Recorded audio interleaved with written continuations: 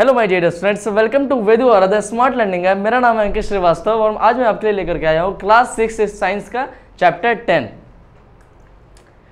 तो स्टूडेंट्स आज का हमारा चैप्टर है motion and measurement of distances जिसमें कि हम लोग जानेंगे, देखिए मोशन मोशन मतलब क्या? गति. और मेज़रमेंट ऑफ़ डिस्टेंसेज यानी कि कोई डिस्टेंस अगर है तो उसका क्या मेज़रमेंट है? कुछ यूनिट्स उसके होते हैं, वो सारा कुछ हम लोग इस लेक्चर में जानेंगे. सो स्टूडेंट्स मैं सबसे पहले आपसे बात कर लूँ वर the topics to be discuss today so पहला टॉपिक है हमारा स्टोरी ऑफ़ ट्रांसपोर्ट सो पहले हम लोग पढ़ेंगे स्टोरी ऑफ़ ट्रांसपोर्ट यानी कि ट्रांसपोर्ट की व्यवस्था कब से शुरू की गई और क्या इसके पीछे का स्टोरी है, ये सारा कुछ हम लोग इसमें जानेंगे। सेकेंड में मेजरमेंट्स यानी कि अगर कुछ डिस्टेंस है तो उसका मेज़रमेंट का यूनिट होता है तो वो हम लोग इसमें जानेंगे। देन उसके बाद है measurement table then measuring the length of a curved line then uh, moving things around us and uh, the last topic types of motion. So एक एक करके हम लोग इन सभी चीज़ों को जानेंगे। So students story of transport हमारा पहला टॉपिक है आज का। स्टोरी ऑफ़ ट्रांसपोर्ट क्या है स्टूडेंट्स यानी कि uh, सबसे पहले ट्रांसपोर्टेशन uh, की व्यवस्था uh, पहले किस फ़ील्ड से शुरू की गई? यानी कि पहले हमारा कार आया बस आया रेलवे आई या फिर एरोप्लेन से या फिर इंसान खुद? तो स्टूडेंट्स मैं आपको बता दूँ, सबसे पहले स्टूडेंट्स सबसे पहले स्टूडेंट्स ये हमारा जो ट्रांसपोर्टेशन सिस्टम था, उसमें खुद इंसान ने ही ट्रांसपोर्ट को बढ़ावा दिया। यानी कि वो लोग क्या करते थे, वो लोग खुद पैदल चलकर अपने ऊपर सामान को लोड करके, वो लोग किसी डिफरेंट डिस्टेंस को कवर करते थे। नेक्स्ट में स्टूडेंट्स हमारा एनिमल्स सो इंसान का सोच थोड़ा सा और एडवांस हुआ. देन उसके बाद वो लोग एनिमल्स का यूज़ करने लगे. आप लोगों को पता होगा, आजकल के आप लोग रोड पे देखते होगे, जिसको आप लोग खच्चर या फिर गधा, उसके ऊपर सामान लोड करके लोग किसी डिफरेंट डिस्टेंस को कवर करते हैं. ठीक है? आप और कह सकते हो, फिर हाथी, घोड़ा, ये सभी उस ट्रांसपोर्टेशन का एक मीडियम बना. नेक्स्ट में स्टूडेंट्स मैं आपसे बात करूँ. सो बोट्स देखिए स्टूडेंट्स अब मैं तो यहाँ तो बात हो रही है आपकी, यानी कि यहाँ पर बात हो रही है आपकी लैंड सिस्टम की, यानी कि जो ज़मीन पे चलने के लिए ट्रांसपोर्टेशन सिस्टम है ये कुछ। इसको भी आप लोग जान ही लो। ये जो ट्रांसपोर्टेशन सिस्टम आपका है, ये तो आपका ज़मीन पे चलने के लिए। अब देखिए, यहाँ पर आपका नेक्स्ट बोट्स तो बोट्स का यूज़ क्यों किया गया? अब आप ही मुझे बताओ, क्या समुद्र में या फिर नदियों में इंसान चल सकता है? क्या जानवर चल सकते हैं उसमें ट्रांसपोर्टेशन के लिए? नहीं। तो उसमें उन, उन, हम उन सभी ने बोट्स का यूज़ किया और बोट्स में भी बड़े बड़े शिप्स बनाए गए। ऐसा नहीं कि अभी जो आप देख रहे हो डीजल से चलने वाला शिप वो उस समय डेवलप कर दिया गया था नहीं। कुछ आ, कह सकते हो आप काफ़ी मिनिमम लेवल का जैसे कि जिसमें बोट सिर्फ़ उसमें क्या होगा? सिर्फ़ उसमें वुड होंगे और उसको चलाने के लिए आपको एक नौका चाहिए ठीक है? तो यहाँ पर आपको मैं बता दूँ यहाँ पर उतना भी एडवांस लेवल का शिप का इन्वेंशन नहीं किया गया था। नॉर्मल बोर्ड चलते थे बाकी और कुछ नहीं।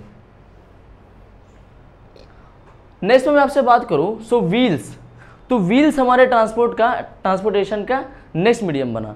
सो so, व्हील्स देखिए मैं आपको बता दूँ। अब देखिए यहाँ पर आपने सीखा कि एनिमल्स का यूज़ किया जाने लगा ट्रांसपोर्टेशन में। तो एनिमल्स के साथ साथ अब क्या होने लगा कि कार्ट्स बना दिए गए। आज की डेट में आप लोग जानते होंगे ब्लॉक कार्ड्स के बारे में। Block cards. So students block card क्या होता है? ब्लॉक कार्ड क्या होता है? देखिए, आगे ऑक्स होते हैं, यानी कि बैल आगे वो होंगे, पीछे में क्या होगा? एक कार्ड बनाया जाएगा। एक आप कह सकते हो, लकड़ी का बना सकते हैं लोग। अभी कुछ देर बाद उन लोगों ने फिर आयरन का यूज़ करना वहाँ शुरू किया, कुछ मेटल्स का यूज़ करना शुरू किया। तो सबसे पहले लकड़ी का बनाते थे लोग काट। उस पर क्या होता था कि सामान को लोड कर दिया जाता था पीछे और आगे चलने के लिए जानवर होता था।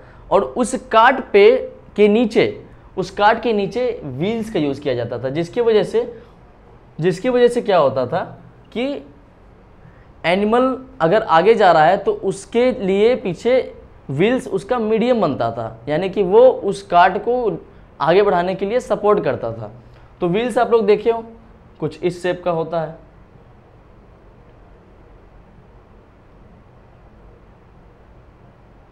ठीक है ना स्टूडेंट्स तो व्हील्स बनाए जाते थे मतलब कि व्हील्स का यूज़ फिर किया जाने लगा। उसके बाद मैं आपसे अगर बात करूँ सो रेलवेज देखिए स्टूडेंट्स जो रेलवेज का यूज़ किया जाने लगा, वो नाइनटीन सेंचुरी में किया जाने लगा। क्योंकि देखिए, इसमें काफ़ी ज़्यादा मैकेनिज़्म लगता है। इसमें काफ़ी ज़्यादा मशीनरी को मशीन्स को यूज़ किया गया है। तो रेलवे आप कह सकते हो नाइनटीन सेंचुरी में लाने का कारण ही यही था, क्योंकि इसमें काफ़ी ज़्यादा मैकेनिज़्म है। काफ़ी ज़्यादा एडवांस डिवाइसेस और एडवांस मशीनरीज का इसमें यूज़ किया जाने लगा। इसीलिए रेलवेज इतना बाद में आया।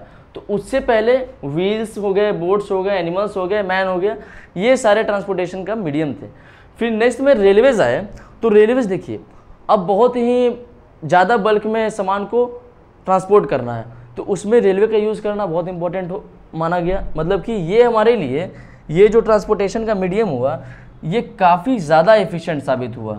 कारण क्या? क्योंकि इसमें एक तो आपके मतलब हज़ारों किलो सामान इसमें आप लगा सकते हो बिना किसी इशू के। और दूसरे में ये क्या था? ये थोड़ा स्पीड भी चलता था। तो ट्रांसपोर्टेशन थोड़ा फास्ट हो गया और काफ़ी ज़्यादा बल्क में चीज़ें उसके ऊपर आने लगी। ठीक है?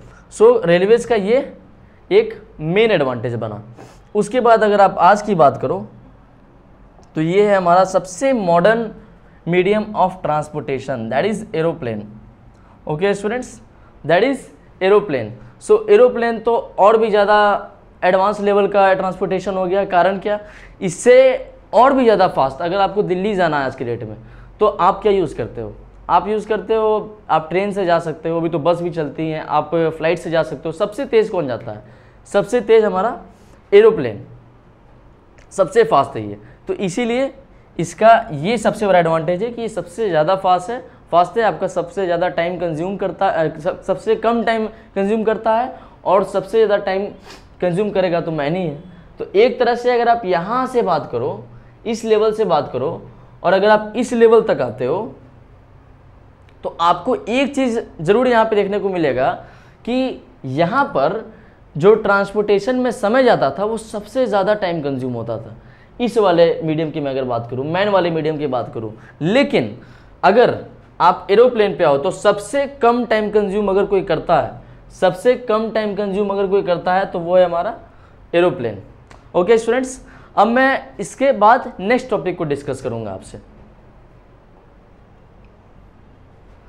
मेजरमेंट्स देखिए मेज़रमेंट क्या होता है स्टूडेंट्स हम लोगों ने पिछले टॉपिक में समझा ट्रांसपोर्टेशन और ट्रांसपोर्टेशन का मीडियम कौन कौन सा रहा? लेकिन अब आप इसमें मेज़रमेंट को समझिए। Measurement means the comparison of an unknown quantity with some known quantity this known fix quantity is called a unit measurement में अब एक आपके सामने एक नया वर्ड आ गया। ये यूनिट क्या है? तो स्टूडेंट इसको जानो। ये यूनिट क्या है? सो स्टूडेंट्स यूनिट हमारा क्या कहलाता है? किसी भी, मान लो ये आपका कोई एक कोई एक वस्तु है यहाँ पर। यहाँ पर आपको दिख रहा है एक टेबल है। इसका आपको डायमेंशन पता है? नहीं पता है। सो उस डायमेंशन को मान लो मैं आपसे पूछ दूँ कि बच्चों, आप बताओ कि इस एज का, इस एज का, इस एज का डिस्टेंस क्या होगा? यानी कि ये जो एज है, ये कितना डिस्टेंस कवर कर रहा है? इसकी लेंथ कितनी है? तो आप इसको कैसे रिप्रेजेंट करोगे? तो आप इसको यूनिट के टर्म में आप इसको यूनिट के टर्म में रिप्रेजेंट करोगे। ठीक है ना स्टूडेंट्स सो so, इस एज की लेंथ कितनी है? तो आप इसको यूनिट में रिप्रेजेंट करोगे। अब क्या है? वो तो हम लोग समझेंगे। ये कानून है मान लो कि मैं बोलूँगा कि ये आपका हो गया।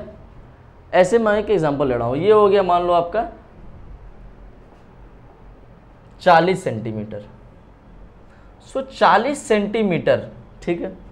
तो 40 सेंटीमीटर में ये सेंटीमीटर क्या है? स्टूडेंट्स 40 सेंटीमीटर में ये सेंटीमीटर क्या है? तो आप कहोगे, सर 40 सेंटीमीटर में हमारा सेंटीमीटर जो है, वही तो है यूनिट। तो मैंने आपको डेफिनेशन में क्या बोला? किसी भी अननोन क्वांटिटी किसी भी अननोन क्वांटिटी को जानने के लिए किसी एक फिक्स क्वांटिटी का यूज़ करते हैं, जिसको हम लोग क्या बोलते हैं? यूनिट तो स्टूडेंट आपको मेरे हिसाब से क्लियर हो गया होगा। ठीक है ना?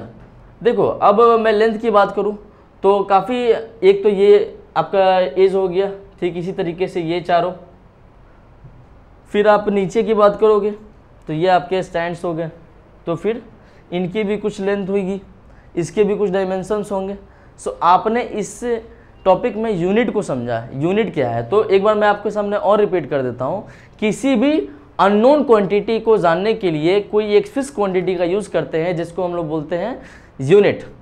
सो स्टूडेंट्स आज के लिए इतना ही रहने देते हैं। नेक्स्ट वीडियो में मैं आपसे आगे के टॉपिक्स को डिस्कस करूँगा। Thank you so much